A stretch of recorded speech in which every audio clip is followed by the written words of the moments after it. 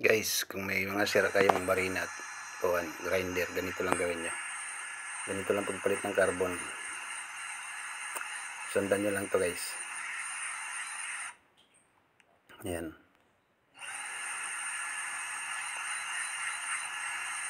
Tapos putulin natin yan.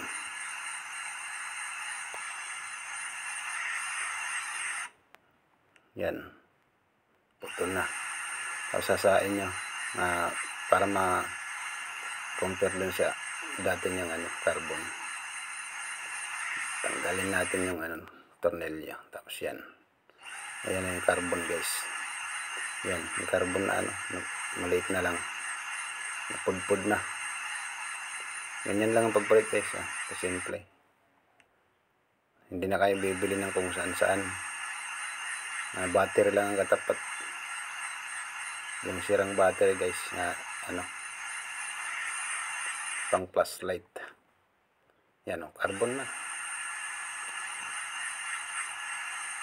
Parang parehas na sila.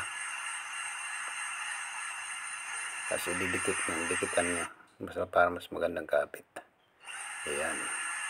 Okay na. Diba? Kabilis lang. Bilis lang yan. Magawa ng ganito. Simpleng-simpleng bagay lang. Hindi na kayo gagastos. Kunting ah, trabaho lang. Yan. Tapos, bye-bye. Thank you.